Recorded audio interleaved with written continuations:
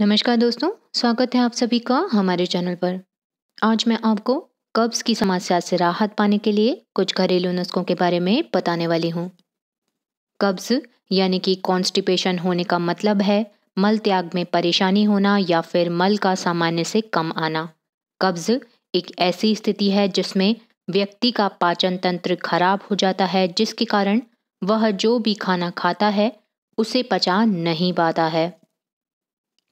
कब्ज तब होती है जब कोलन बहुत अधिक पानी को अवशोषित करता है। यह तब हो सकता है जब कोलन की मांसपेशियाँ धीरे धीरे संक्रमित हो जाती हैं, जिससे कि शरीर में पानी की कमी होती है और पानी की कमी से आंतों में मल सूखने लगता है, जिससे मल त्याग में बहुत ही मुश्किल होती है।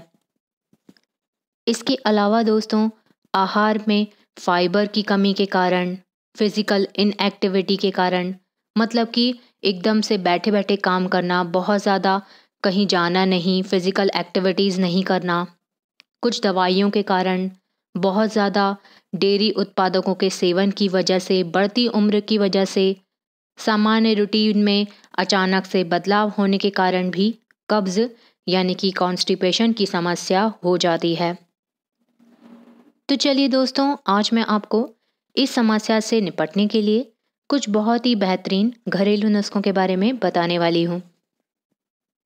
इसकी जानकारी जानने से पहले, सबसे पहले तो एक निवेदन उन लोगों से करना चाहूँगी, जो आज पहली बार हमारे चैनल पर आए हैं। कृपया सब्सक्राइब का बटन दबाकर हमारी सदस्यता को ज़रूर ले लें, ताकि आप हमसे जुड़े रहें, हमारे द्वारा दी गई जानकारी को रोज़ देख पाएँ और उनसे फ़ायदा भी उठा सकें।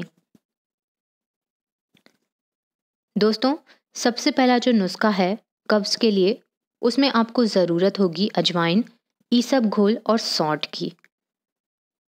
इसे इस्तेमाल करने के लिए अजवाइन, ईसब घोल की भूसी और सौंठ को सामान्य मात्रा में पीस कर एक चम्मच सोते समय गर्म पानी के साथ सेवन कीजिए दोस्तों।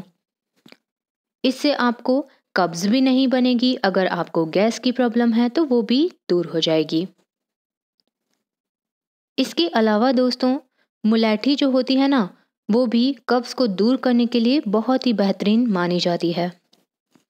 इसे इस्तेमाल करने के लिए पिसी हुई सौंठ 12 ग्राम, मुलैठी 12 ग्राम, गुलाब के सूखे हुए फूल 6 ग्राम।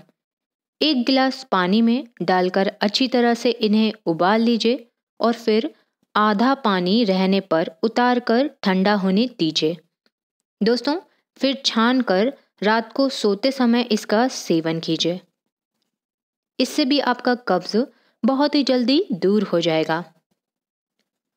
तो दोस्तों, आपको हमारे द्वारा दी गई यह जानकारी कैसी लगी हमें कमेंट करके ज़रूर बताइएगा। और आपको आज की जानकारी अच्छी लगी हो तो इसे लाइक और शेयर ज़रूर कीजिएगा। अपना कीमती समय देने के लिए आप सभी को बहुत बहुत धन्यवाद